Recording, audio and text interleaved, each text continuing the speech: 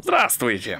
В общем, тут небольшой апдейтик по поводу, знаете, вот этих вот разговоров на тему камеры, на которой я сейчас снимаю. Canon EOS R, вот эти вот э, R5 точнее. Типа то, что она греется, с ней вообще работать невозможно, промежуток 20 времени, даже если снимаешь 4К. Скажу какой момент. Э, я снял, получается, уже сегодня, вот только что закончил, вот прям на эту камеру снимал, только скопировал на комп и обратно флешку воткнул.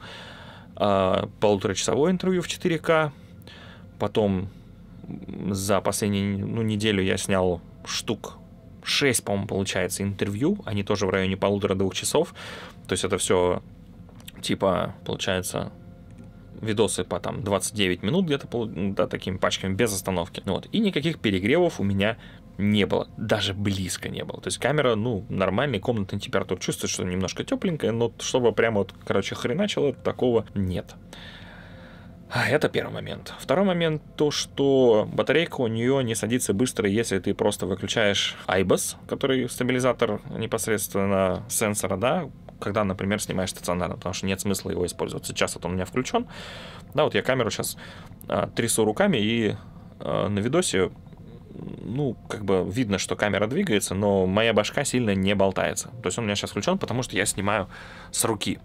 Вот. Это чисто апдейт по камере, поэтому хейтеры, которые вот эту дичь всякую разносят из разряда невозможно пользоваться, можно им просто тупо не верить. Вот потому что сейчас на камеру говорит человек, который ей пользуется, а, получается, сколько уже там, 20 дней, ну, что-то около 20 дней, и у меня никаких проблем с перегревом не возникало. Я не снимаю, конечно, 8К RAW, это, я думаю, и так понятно, что любая камера будет греться, но я снимаю 4К прямо сейчас, и все, окей. Просто надо, видать, уметь нормально пользоваться оборудованием, чтобы все нормально работало. Но сегодня мы с вами немножко не об этом. Я, короче, вам сейчас кое-что покажу. Я, конечно, понимаю, что 21 век настал уже довольно давно, уже 20 лет живем, 22 года живем в 21 веке, но вот такие вещи меня продолжают удивлять, короче. Я давно хотел это сделать, и тут у меня внезапно, случайно это получилось. Значит, начнем давайте вот с такой вот Привет, Сири. Синий шкаф. Хорошо. Устанавливаю с помощью лис. Привет, Сири. Белый фон. Хорошо. Готово. Выполнить сцену финт белый успешный. А, привет, Сири. Синий фон. Хорошо. Готово. Выполнить сцену финт блу успешный. А, Привет, Сири. Красно-белый фон.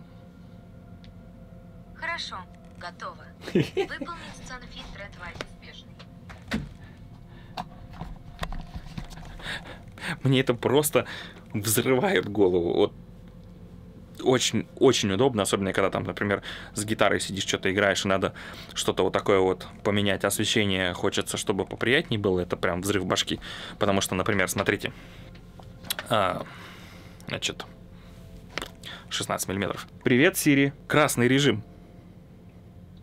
Хорошо. Устанавливаю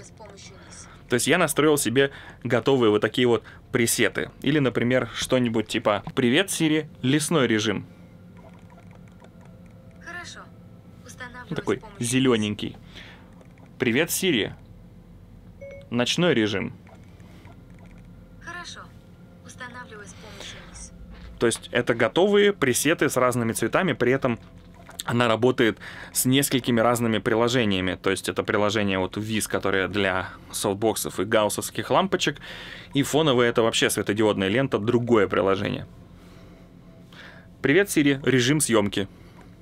То есть готовый сет для того, чтобы нормальный свет был для съемки. Вот такие вот взрывы головы. Еще увидимся.